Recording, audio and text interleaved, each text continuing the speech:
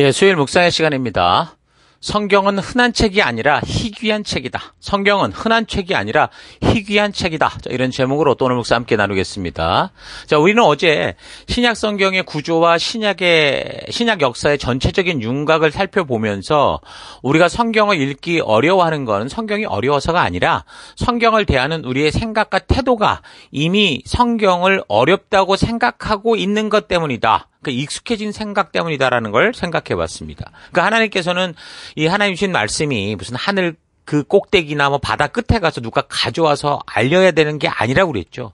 누구라도 읽고 들으면 깨달을 수 있도록 우리 삶에 두었다 말씀하셨습니다. 자, 그런데 오늘날에 많은 성도들이 하나님의 특별한 사명을 맡은 자들만이 알 수 있는 거다라는 이런 거짓에 속고 있는 거죠. 그래서 이 성경을 무슨 방언으로 된 거다 이렇게도 말을 하고 그래서 이제 특별히 기름 부음 받은 자, 하나님이 택한 자만이 풀 수 있다. 이런 식으로 이게 막 접근을 하다 보니 이단들에게 쉽게 속고 어, 그런 동요에 빠지고 만다라고 그랬습니다. 안타까운 일이죠. 그러니까 하나님의 말씀은 누구라도 듣고 깨달을 수 있는 말씀이다. 하나님의 편지다라는 사실을 잊지 말아야 됩니다. 단지 우리가 하나님이 이루어진 역사 전체가 아니라 아주 부분적인 것만 듣고 있어서 우리가 좀 헷갈리고 있는 거지.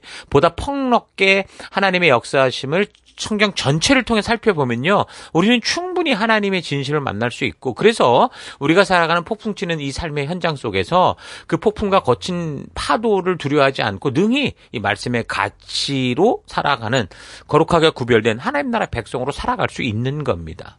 자, 오늘은 그래서 이제 신약 성경이 이제 이렇게 형성된 그 역사를 좀 살펴보려고 하는데 오늘 우리가 보고 있는 이 신약성경 27권은 예수님께서 이 땅에서의 역사와 교회가 처음 서가는 그 역사의 그 근, 그 증거를 보여주고 있는데 이 기록들은 예수님이 활동하시던 그 처음부터 기록된 게 아니고요. 그 이후에 적혀진 거죠. 그러니까 예수님께서 승천하신 후에 그러니까 상당 기간 동안 신약의 어떤 문서도 이런 게 기록되지 않았었어요.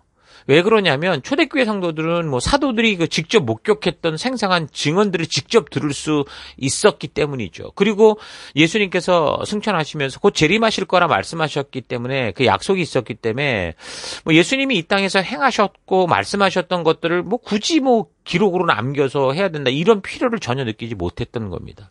자, 그런데 이제 세월이 흘러가면서 예수님의 그 재림에 대한 그 오해가 이제 우리가 알게 된 거죠. 오해라는 것을 점점 지연되고 있었고 그래서 예수님의 행적과 교훈을 직접 받은 사람들도 제자들도 이제 하나둘씩 뭐 늙어서 뭐또 순교로 이렇게 세상을 떠나게 되더라는 거죠. 거기에다가 이제 그런 분위기 역사의 흐름 속에 근거도 없는 이야기들이 이제 만들어지게 되는 겁니다.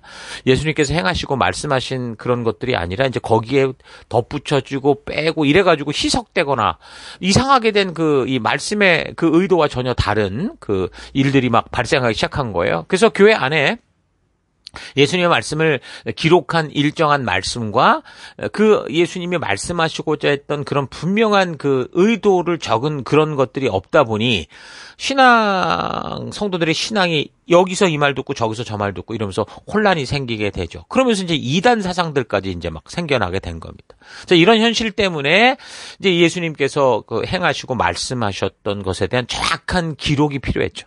그래서 예수님의 생애와 그가 이제 이 땅에서 행하신 하나님의 아들이라는 증거에 대한 확실한 그 이 역사적 사건들을 분명하게 기록할 수밖에 없었던 겁니다. 그래서 그 당시 예수님의 제자들이었던 사도들에 의해 적혀진 그 문서 같은 경우는 굉장히 중요한 문서였죠. 예수님의 말씀을 바르게 듣고 복음의 진리를 알고자 하는 이 성도들이 이 사람 저 사람 말로 혼란 혼란스러운 성도들이 확실하게 그 사실을 알 수 있는 굉장히 중요한 어떤 기준이 됐습니다. 그래서 이 글들이 이제 이웃 교회 로 이제 회람되기도 하고 또 필사자들을 보내서 복사본을 만드는 그런 일들이 생기기 시작하죠. 또한 직접 예수님의 행적과 말씀에 대해 저술하기 위해서 누가복음을 그 누가라는 사람이 적었던 것처럼 여러 사람이 그런 일을 하더라는 겁니다. 그러니까 예수님의 부활 승천 이후 사도들에 의해 복음이 왕성하게 전파된 지 얼마 되지 않은 그때에 참으로 예수님이 이 땅에서 행하신 사역과 정확히 그 말씀 정확히 어, 정확 어, 말씀을 하셨던 정확한 그 내용이 전달되지 않고 여러 사람들이 자꾸 자기 기억을 더듬어서 적었다는 거죠. 그러니까 아주 혼란스러웠던 시기라는 겁니다. 그러나 예수님의 직접적인 사역을 봤던 사람들은 사실 제자들 외에는 많지 않잖아요. 예, 그러다 보니까 이제 그렇게 누군가의 그 소문과 뭐 자기가 대충 봤던 걸 적은 그런 것보다는 좀 더 그 예수님과 항상 동행하고 있었던 그 사도들의 그 이 글들을 굉장히 권위 있게 보고 그래서 그거를 이제 필사하는 복사 작업들이 이제 활발하게 벌어졌던 거죠. 베드로서 3장을 참고해 봐도 베드로가 사도 바울에 의해 작성된 어떤 서신들이 있다라는 걸 알고 있었던 것을 우리가 알 수 있습니다. 그러니까 베드로 사도는 그 하나님의 뜻을 온전히 전하지 않고 그래서 예수님의 사역이나 사도들이 전한 말씀들을 왜곡되게 행하는 자를 무업자라고 표현할 정도로 그 시대 이제 진정한 예수님의 말씀과 행적을 담은 글들이 굉장히 중요했다라는 바르게 전하는 그 기록들이 그래서 복음서도 보면은 누가의 기록을 참고하면 여기 사복음서 외에도 많은 복음서가 있었다라는 걸 알 수 있습니다. 누가복음 1장 1절을 보면 우리 가운데서 일어난 여러 가지 일에 대해 차례대로 이야기를 엮어내려고 손을 댄 사람이 많이 있었습니다라고 말하거든요. 그러니까 이방인이었던 누가 같은 경우 사도 바울을 만나게 됐고 그리고 그가 이제 말해 주는 것과 예수님의 제자들과의 직접적인 교류를 통해 듣고 알게 된 것을 이제 전하는 기록하는 경우였는데 그 역사적인 기록들을 참고하면 그런 누가의 이런 기록과는 다른 또 다른 많은 기록들이 있었다라는 거죠. 그래서 교회사를 보면 에피온 복음서, 히브리인의 복음서, 니고데모 복음서, 뭐 야고보 원복음서, 어, 또 베드로 복음서, 뭐 도마 복음서 이런 게 있어요. 그 도마 복음 같은 경우는 아마 여러분이 좀 귀에 익숙할 수 있는데 뭐 당장 오늘날 우리나라에서 2009년, 2010년에 김용옥이라는 사람이나 오강남이라는 이 사람들이 이런 말씀들을 성경의 권위와 같이 줬던 거죠. 그래서 정경이 정해지기까지 기준이 되어 오던 것을 다 무시하고 우리가 알고 있는 공간복음을 통해 발견되는 예수님의 모습과는 전혀 다른 이상한 예수를 만들어내는 거죠. 그러면서 새로운 복음이니 뭐 새로운 예수님이니 이래가면서 완전히 이 성도들을 이 미혹하고 교회를 흔드는 그런 일들이 있었습니다. 그러니까 이런 책들이 그 당시 지금과 같은 논쟁과 혼란 속에 결국 위경이 됐고 정경에 포함되지 못한 그 사실에 대해서 바르게 인정하지 못하고 마치 자기들의 지식을 자랑하는 그만큼 역사를 공부했다 이런 자기 자랑의 이런 짓거리들을 했던 겁니다. 그러니까 이보다 앞서서 2006년에는요, 미국에서 이 다빈치 코드라는 이 영화를 통해서 예수님이 무슨 막달라 마리아와 결혼을 해가지고 숨겨둔 자식 후손이 있다. 이런 헛된 소리가 들, 들썩였거든요. 근데 천주교의 수도회 등이 이제 이거 들먹거려지면서 아무런 사실적 증거도 없는데 괜시리 이런 사실을 역사적으로 잘 모르는 기독교인들이 그저 그냥 교회에서 그냥 복복 찾던 사람들이 세간에 퍼지는 악성 루머 거짓 보도로 인해서 성경의 순수한 권위를 의심하고 이유 없는 불신을 가지는 이런 일들도 있었습니다. 그러니까 다른 것보다 중요한 것은 이런 일이 생길 때 이 성경과 역사를 통해 바르게 배우지 못한 그저 교회당을 자신들의 목적을 이루고 안녕과 복을 바라며 다니는 교인들이 다 쉽게 휩쓸리더라는 거죠. 이것은 저들 개인의 문제이기도 하지만 씁쓸한 것은 어떻게 해서든 교회당으로 이렇게 오게 된 이 사람들을 교회와 목사가 바르게 성경과 역사를 교육하지 못한 것이 그 결과라는 겁니다. 그래서 우리는 이런 성경역 형성사에 대한 것도 우리가 좀 이 역사도 바르게 알고 있어야 이런 잘못된 위경이나 또는 예, 참고만 가능한 외경 같은 걸 거들먹거린 사람이 있어요. 뭐 다 읽었다 그러면서 아무튼 지식 자랑한 사람들 이런 사람들로 인해서 혼란을 겪지 않고 굳건하게 말씀에 반석 위에 서 있을 수 있어야 있을 수 있는 겁니다. 그 역사도 우리가 잘 알아야 돼요. 그래서 이런 일들이 그 당시 똑같이 벌어졌기 때문에 예수님의 제자요 그 사역을 감당했던 사도 베드로가 강하게 경고하고 깨어 있으라 말씀하죠.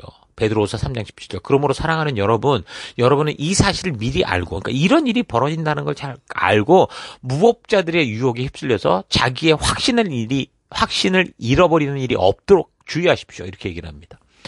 그러니까 사도들의 서신서들도 그래요. 신약 성서에 있는 이 서신서 외에도 다른 서신서들이 있었습니다. 고린도서 5장 9절이나 골로새서 4장 같은 경우.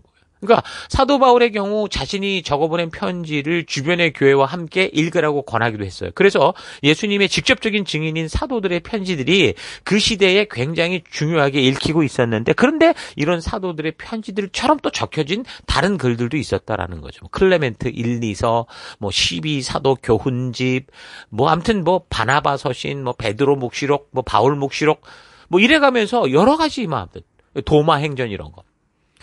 그러니까 최종적으로 근데 이런 중에서도 사실은 어쨌든 그 정경으로 확정된 것은 구약 39권, 신약 27권이죠.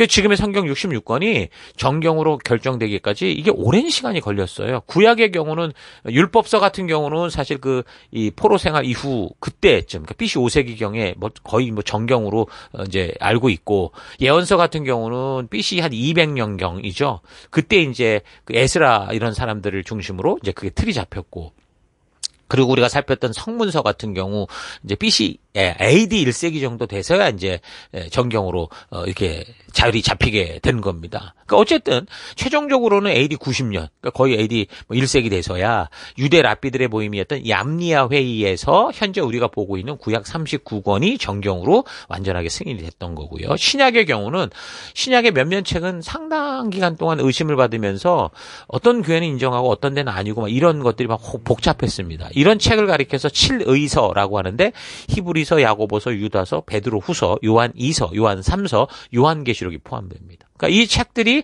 정경이 되기까지 결국 하나님께서 상당한 시간이 흐르도록 인간들의 이성으로 사려 있게 뭐 통찰하고 토론하고 나누고 뭐 이렇게 심사숙고할 수 있는 시간을 주고 기다렸다라고 볼 수 있죠.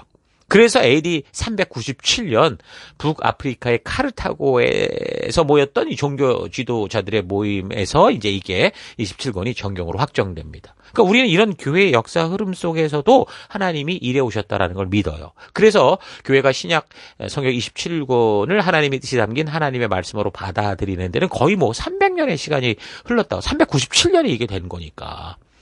자, 그러면 그 당시 그럼 많은 책들 중에 좀 우리가 보는 이것만 왜 하나님의 말씀으로 받아들였냐? 뭐가 기준이냐라고 볼 때 첫째는 사도성이었어요. 그러니까 책이 그 예수님의 제자들, 사도들에 의해 직접적인 증인들에 의해 기록됐다든가 또는 사, 사도들이 쓴 책이 아니라도 그 책의 저자와 사도와의 관계를 뒷받침해서 사도가 기록한 책과 거의 동일 수준에 있는가. 이제 이게 기준이었죠. 두 번째는 내용입니다. 어떤 책의 내용이 정경의 계열에 오를 만큼 이 영적인 성격을 띠고 있느냐. 이거. 그 내용이 예수님의 가르침, 사도들의 가르침과 조화가 되느냐. 이걸 봤던 거죠. 그러니까 이제 아까 말한 도마복음서 같은 경우는 그런 권위에 전혀 미치지 못하는 너무도 엉뚱한 내용이어서 이게 외경도 아니라 이건 위경이거든요. 근데 그렇게 됐는데 이제 이런 내용에 의해서 구본이 된 겁니다. 자, 세 번째는 보편성인데 그 당시 모든 교회가 보편적으로 받아들이고 있느냐라는 걸 살핀 거죠. 이 보편성의 원칙에 문제가 있어서 조금 전에 말했던 그 신약의 칠의서 같은 경우 오랫동안 정경으로 인정되지 못하고 여기저기서 많은 어떤 검증을 거쳐서 BC 397년 그렇게 인정받게 된 겁니다. 넷째는 영감성인데요. 그러니까 성경은 하나님의 감동으로 되었다라는 걸 기준으로 이 책이 사람들의 영감을 불어일으키는 그런 책이냐라는 걸 기준으로 살폈던 겁니다. 이것처럼 이제 네 가지 조건에 의해서 많은 책들 중에 27권이 이제 정경으로 받아들여졌는데 역사적으로 보면 이제 크게 두 개로 이제 이게, 이게 대, 대치가 됐었습니다. 하나는 어떤 전혀 이제 뭐 논란의 여지가 없는 그런 책들. 호모 로구메나 그리고 또 하나는 이제 정경으로 인정되기엔 다소 이제 반대가 있었던 안티레고메나 아까 칠의서 같은 경우.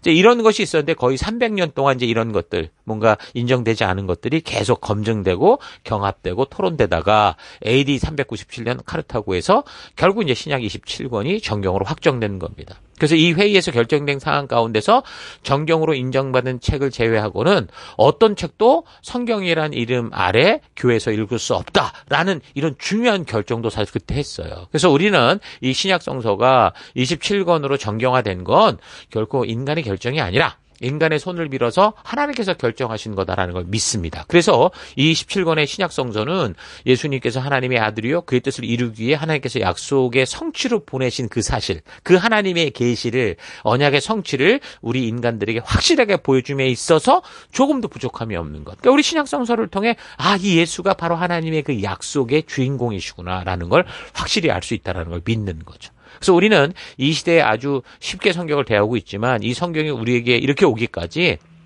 참고로 하나님께서 직접 역사하시고 이끄시는 섭리가 없었다면 불가능했었던 일이다라는 사실을 기억하시고 이 성경을 더더욱 소중히 여기고 그래서 부지런히 성경과 역사를 따라 읽고 연구하고 함께 나누면서 이런 사실이 벌어졌던 그 시대 그 진실 가운데 그 역사 가운데 섬으로 말미암아 진리의 성령 하나님께서 우리를 참으로 하나님의 진실한 마음으로 의도로 인도하는 그런 거듭남을 누리는 여러분 되기를 바랍니다. 자 오늘 하루 우리가 쉽게 보고 있는 이 성경이 우리에게 이렇게 오기까지 하나님께서 하나님이 창조하신 창조의 법칙 속에서 어, 자유의지를 지닌 인간들이 자기 마음대로 생각하며 추측하는 모든 과정을 통해서도 결국 우리에게 하나님의 진심을 온전히 담아주신 너무도 귀한 아, 하늘 하나님이 주신 복된 사랑의 편지다라는 걸 알고 그렇게 읽고 묵상하며 살펴왔는지 좀 차분히 생각해 보시기 바랍니다.